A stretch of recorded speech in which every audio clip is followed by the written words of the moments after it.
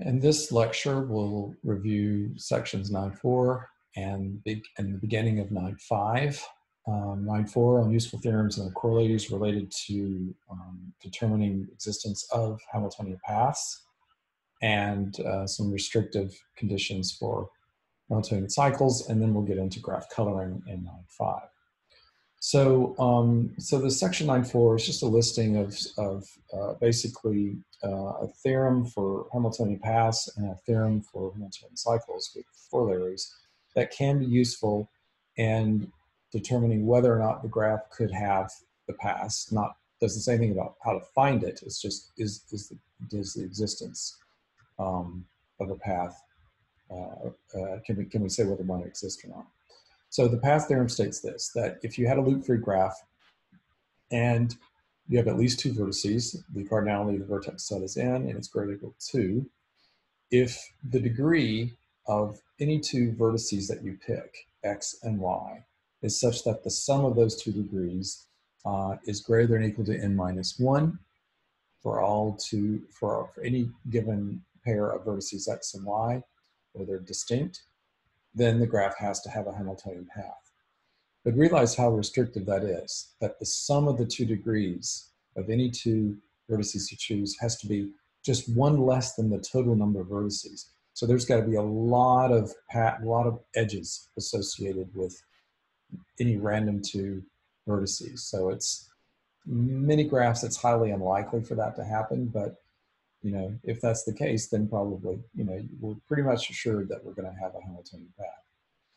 Corollary to that is, again, assuming two vertices, if you had that the degree of every vertex was greater than or equal to n minus 1 over 2, that has to be true for every vertex, all right, then the graph would have a Hamiltonian path. Not showing how to find it, but at least you, you, you, you will have one in the graph. Very restrictive. Both of those conditions are very restrictive. For Hamiltonian cycles in 1960, Ore proved that if you had a loop-free undirected graph, but now you must have at least three vertices, and then you can show that the sum of the, uh, you pick two vertices that are non-adjacent, x and y that are non-adjacent in your vertex set, then the sum of their degrees has to be the number of vertices n or larger. What we mean by non-adjacent is this little graph here, this, uh, this little subgraph here, where you have x and y separated by a vertex uh, z. In other words, there can't be an edge directly between x and y. They're non-adjacent, right? But then again, look, what we're saying is that the degree of x and the degree of y, the sum of them has to be greater than equal to n. Corollary, um, using some other conditions here for a loop-free undirected graph, again, at least three vertices. Can you show that the degree of every vertex is greater than or equal to n divided by 2? Has to be true for every one of your vertices. Then you, then you have a cycle. There is a Hamiltonian cycle somewhere in there. If the edge set is such that the cardinality of the edge set is greater than n minus 1 choose 2 plus 2. Again, this could be a very large number there, plus 2 then G has a Hamiltonian cycle. So again, these are not necessarily very common conditions that are going to happen. It's sort of an extreme case. The graph is you know, nearly well connected there. Then there's a good chance you would have a Hamiltonian cycle. So these are just using tests that can be easily programmed. These checks can be easily programmed. Won't tell you how to find it, but at least you'll know one is there, whether it be a Hamiltonian path or cycle. So section 9.5 is the last section of this chapter uh, on graph theory, and it's on graph coloring. And we're going to motivate it by a very uh, useful problem that comes up using graphs in a way of separating chemicals. So suppose you have this issue of the storage of chemical compounds in a warehouse, and suppose the compounds are acid and bases, and they can't be near each other. Certain chemicals just simply cannot be near each other. Leakage purposes could cause reactions, maybe explosions, really bad things have happened. So suppose you want to partition your warehouse in a way to separate these chemicals, right? And so the question of design question is, well, then how many compartments do you need to accomplish that goal? So here's the model we're gonna look at. Suppose you have 25 chemical compounds and they will be indexed C1 through C25. That's the vertex set. And we'll draw an edge in this undirected graph between vertex CI and CJ if those two chemicals have to be stored separately. So in other words, drawing an edge between CI and CJ means please separate CI from CJ. So the meaning of an edge here is very interesting. It means keep away. So that's what the relationship means, not keep them together, keep them away. So the meaning of an edge in a graph can be anything, right? And then we construct the under graph and explore a way of determining how many compartments are needed. We use graph, graph coloring to accomplish that. So let's start off by defining what do we mean by graph coloring. Well, if you have a graph, let's say vertex set V and edge set E, we say that a proper coloring, a proper coloring of the graph is a coloring or labeling of the vertices such that if you have this edge, let's say AB, where the vertices are A and B, and this undirected edge, then A and B are colored or labeled differently. In other words, if there's a color label for A, it has to be a different color label for B. And then what's referred to as the chromatic number of the graph, denoted by this Greek letter chi of G, what is the minimum number of colors it would take to properly cover a graph. It's a very famous problem, but it relates to this idea of optimization and sense of how many compartments do you need, it relates to finding this minimum number of colors to color the vertices. So it's a really, really interesting problem that's attracted people's interest for, for actually several centuries. So uh, let's move on to page 135. Uh, give you some history before we go into a very simple example. So some history of graph coloring was first studied in the 19th century by Francis Guthrie and Augustine de Morgan. If you're wondering, is that the De Morgan of De Morgan laws? Yes. Studied in 1852 determining the smallest number that should be colors uh, needed to color a planar graph. That was the infamous four color problem we've talked about before. That was supposedly claimed to be answered by uh, Arthur Cayley in 1879. Sir Alfred Kempe provided a very formal proof for the four coloring theorem, but some errors were discovered by uh, Percy Heawood in this time, in, in the turn of the century, from the 19th to 20th century. And the proof stood for almost a decade until in 1976, Ken Appel, University of Illinois Champaign-Urbana, Urbana-Champaign, excuse me, uh, and Wolfgang Haken confirmed that the chromatic number is in fact four for planar graphs by computer. And I had met him when I was a graduate student at Illinois. So let's look at an example. Um, one way sometimes to determine the chromatic number of graph is to look for subgraphs that we definitely know how to color. And for example, coloring a complete graph is very easy to understand, okay? Um, and what we'll look at first of all is suppose you have this original graph here indicated by these, these vertices here. Ignore the numbers just for a second and just focus on these uh, letters here, right? And our goal is to color this graph. In other words, to figure out how to uh, colorize each of the vertices so that no edge connects any vertices of the same color. Clearly you see K3 subgraphs in here and I've pulled out this top one here. So we have the ABG subgraph. It's not hard to show that the chromatic number, right, of K3 has to be three. It takes three colors to color that, right? because whatever color A is, B cannot be the same, but G can't be the same as A or B, so it needs a third color. so in fact, as indicated down here, the chromatic number of any Kn is always n. So one way of thinking about how to color a graph is to find complete subgraphs within it, right? And so the fact that this subgraph requires three colors, that's the beginning of the num minimum number of colors you should consider. And then if you need more, you would have to grow. So we would start off by saying, well, let's color the subgraph here. One color there, two color there, third color there, and then see how far we can get with three colors. And it turns out you can show very quickly how to color the other vertices so that you don't have any two vertices connected of the same number here, which represents a color. So in fact, the chromatic number of this entire graph is three the same as the chromatic number of K3, right? Turns out Petersen graph we can show, again, we know about um, looking at um, subgraphs as well. It also has K3 subgraphs and or uh, or in terms of looking at K33 subgraphs, we know K33 subgraph it does. Um, and we can show that the chromatic number of that graph is 3 as well. So let's move on to page 136 and do a more complicated example. And there's a little error that needs to be corrected in this table. So here, suppose we want the chromatic number of this 10 vertex graph. Again, seeking subgraphs that we can find for which we know the chromatic number is key. it turns out the one I wanted to focus in on is this one right here. If you pull that subgraph out, we have B, we have F, and we have H, and then we have I. And if you look at it very carefully, in terms of connecting, all the vertices here. Okay. Just draw some vertices there. And there's also an edge coming in here, the F. What you have here is K4. And that's the induced subgraph V from this vertex set is isomorphic to K4. It's a K4 subgraph. And we know that the chromatic number, chi of K4, is equal to 4.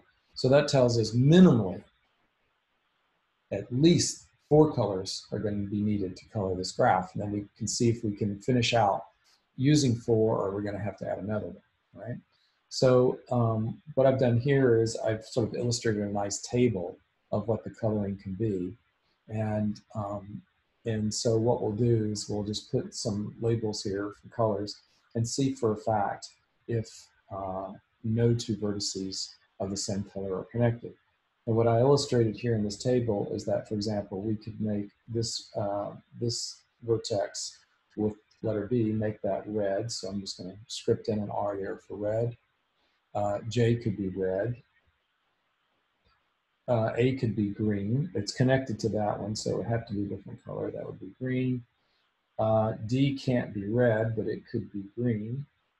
And I could be green as well because it's connected to red, that vertex which is red, see, so that's got to be green. We'll make it green. So we're working now with three, uh, two colors, then we're going to throw a white in. Um, now you need to correct your notes because there was a slight error. So we're going to make uh, we're going to make G white. It's connected to this vertex, so it can't be green. Uh, we're going to make E white. It can't be red for sure. It can't be right, red or green, so it has to be white. We can see that, right? Can't be red or green. And then H, sitting over here, um, cannot be green for sure, so we're going to make it uh, white. Again, white is connected to green, white is connected to green, that's fine. But then now we have an issue with F. F can't be red, it can't be green, it can't be white, it's going to have to be blue, right? And then we come back up the same thing to look at C. C can't be red, it can't be green, it can't be white, but it can be blue.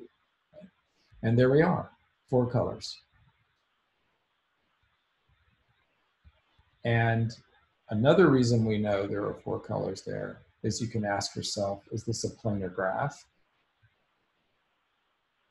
And the answer is yes, because none of those edges crossed.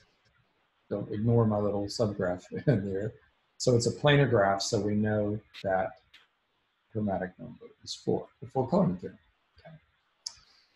So, um, question is, is there a formal method to determine the chromatic number, right?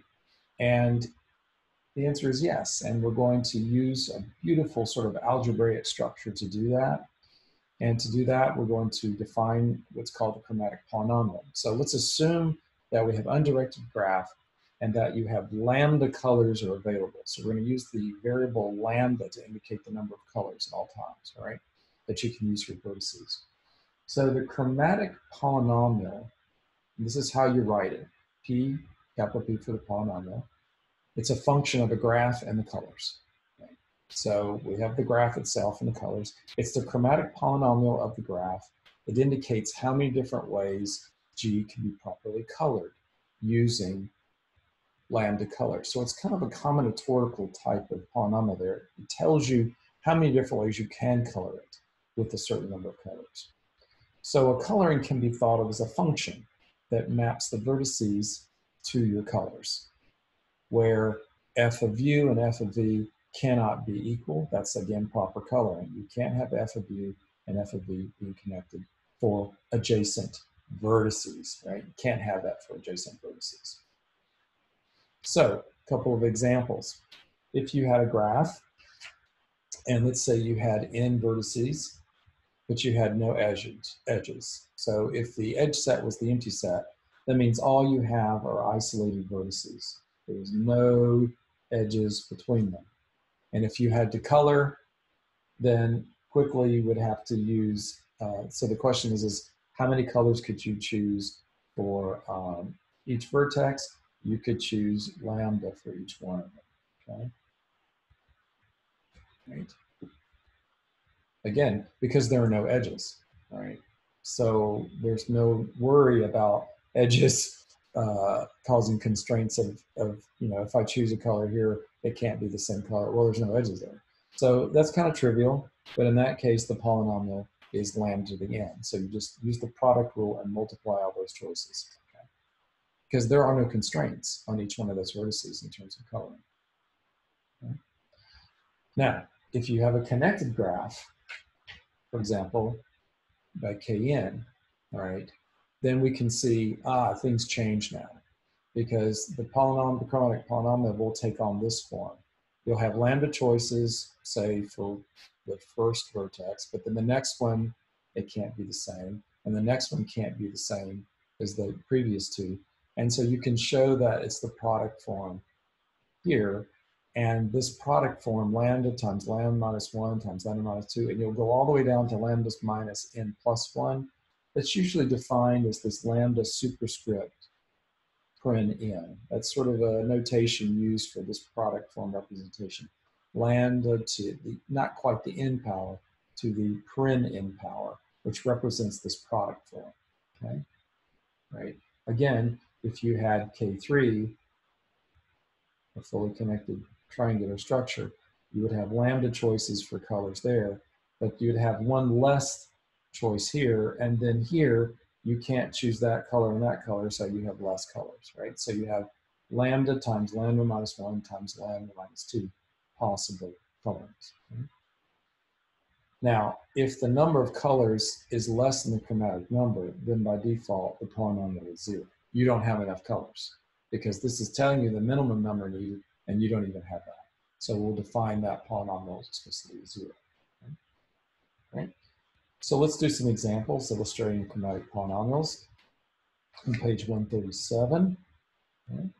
Very simple illustrations here. Um, and pay attention to this, the form of these graphs. So this is a this is a graph where you can see it's kind of you could fold it out and be very linear, even though it looks like a, you know sort of like a bucket here. You could fold A down and D down. It's very linear. Right? So if you're looking at defining what the polynomial is, that's what we're looking for. The chromatic polynomial here. Basically, start with in this case this pendant index. Start with one end and say, well, you could choose, you've got lambda colors, so A could take on, you know, if it was three colors, we can make it red, make it green, or it could be blue.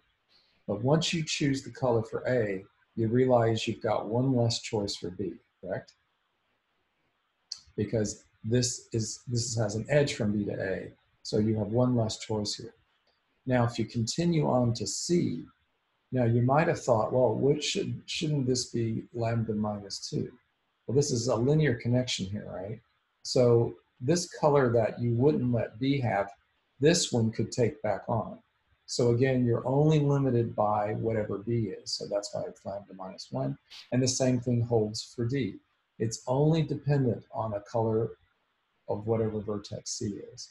So if you multiply those three cases out, you have lambda times what? Lambda minus one to the third power And just to give you an illustration of, you know, if you had five colors, just to give you an idea of the choices, that should be equals. If you were, if you can, if you plugged in five into that function, you would get 320 ways you can color that graph if you had five colors. If you sort of, this is like a chain, right? If you made the chain a little bit longer, in other words, the next example, again, it's still linear in the sense that you have two pendant vertexes at the ends and then you just move all the way from one to the other.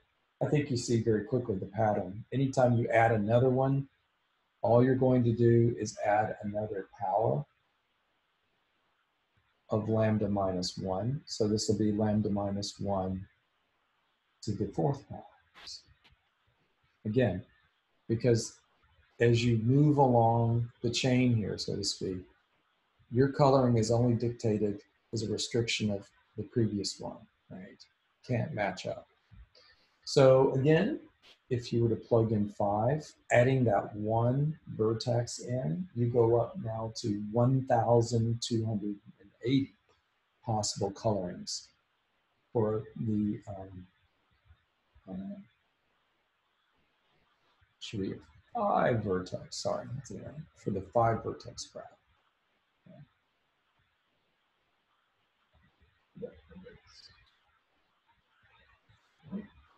So let's, um, before we move on, there's an upshot on, page, on the next page on 183. So the upshot is,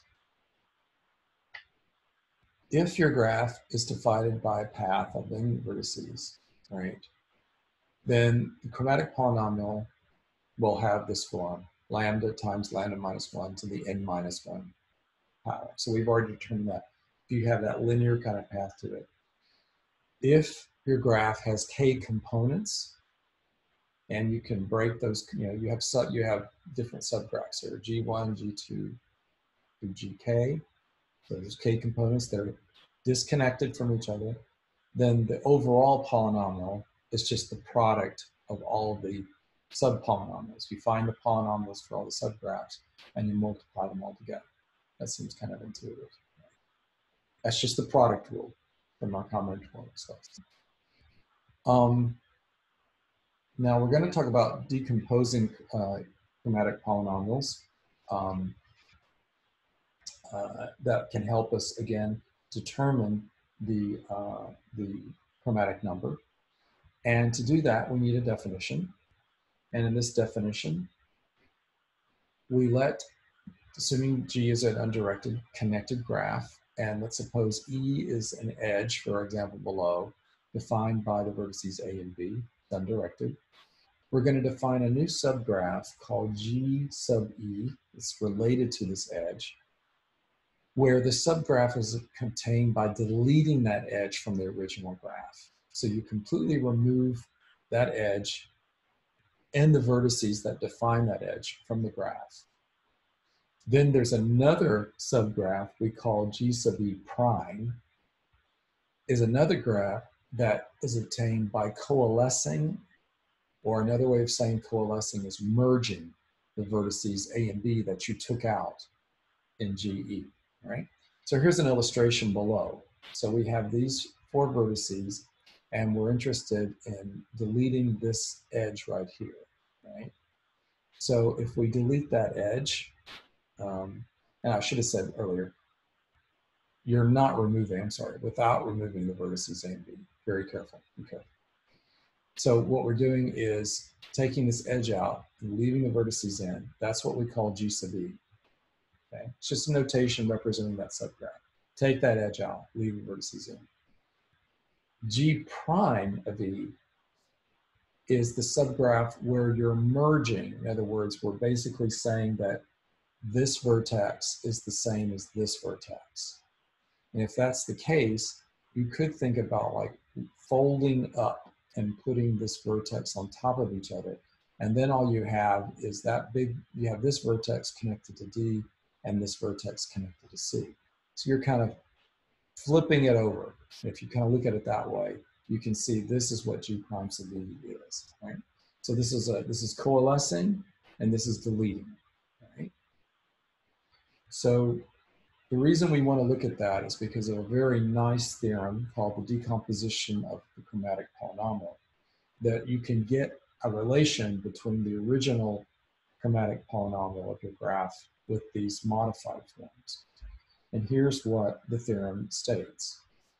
Again, you have a connected graph, and the theorem states is for a given connected graph with this particular edge E out of your edge set, the chromatic polynomial of G sub E, the graph that you get from deleting that edge, is always the sum of the polynomial of the original graph plus the polynomial of this merged graph. Right? Really nice theorem because you can see you could use it, for example, to get the polynomial of the original graph is just the difference between the g sub e lambda polynomial minus the merged or coalesced graph. So that, again, just using a little algebra there. Okay? And so we're going to do that with the example below, right? And so the example below, again, if our goal was to determine the, um, the uh, chromatic polynomial of the, this is not a complete graph. If it was complete, we know what the answer is, right? You got four vertices. If it was complete, and that was a K4 subgraph, we automatically know the chromatic number is four, right? And we could, therefore, um, we could uh, we would know exactly how many we you know we wouldn't need the polynomial. We'd know exactly how many colors that we need to um, to uh, to use to color the graph. Um, but we could go back and say from um, oh I'm sorry from example two on page 136 we already know that if it was a connected graph in other words we know for kn the polynomial is of this form lambda to the super n, which is lambda times lambda minus 1 times lambda minus 2, etc. Right? That's what I meant. So here we are. So what we're doing here is I'm actually using this revision of the decomposition theorem here that says what I want to use is that the chromatic polynomial of this graph is the polynomial of g sub e lambda, where you have deleted edge, minus the polynomial of the coalesced version. Okay? So this is the representation of the polynomials for each of those. This is what I want to find. So by deleting this edge, notice I get a nice linear form, and it's very easy for me to determine what that, we already know what the chromatic polynomial looks like, right? We just did this one earlier with four vertices. That's lambda times lambda minus 1 cubed. Then by merging, in other words, if we merge um, the merger of, of, of the vertices associated with that edge means we have to merge B and D. So this becomes the same as D. D is connected to C, so therefore this merge thing connects to C. B was connected to A. So you keep the edges in play, right? And we just merge the vertices. But that's a K3 graph, right? And we already know that that has this polynomial form. The chromatic polynomial is that form. So if we just rewrite this, that just says the chromatic polynomial of this original graph is that term minus the following, lambda times lambda minus 1 times lambda minus 2. So all you have to do is whatever that number is, start factoring lambda, lambda minus 1, lambda 2. Make sure you have three factors. Okay? If this was a 4, you would have the fourth factor, lambda minus 3. Then we could easily clean all this up, do a little algebra there, and show this is lambda to the fourth minus 4 lambda cubed plus 6 lambda squared minus 3 lambda. Notice there won't be any constant term there. And then having this polynomial using the decomposition theorem, then you would just plug in, if you wanted a chromatic number, you would just start plugging in. I mean, that is the goal is to get the chromatic number. So you plug in different values. If we plugged in one color, you would see, if you plugged in one, um, you would get one minus four plus six minus three, and you get zero, right? If you plugged in two, you would get two, right? Which is definitely greater than zero. So that's what we want. What's the first non-zero value you get when you start plugging in colors? In this case, the chromatic number of the graph is two. Now, you may have seen that originally, so that again, that means we could color this red and green and red and green.